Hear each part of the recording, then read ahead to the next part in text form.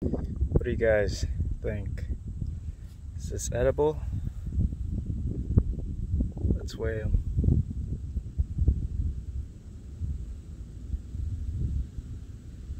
Florida fishing.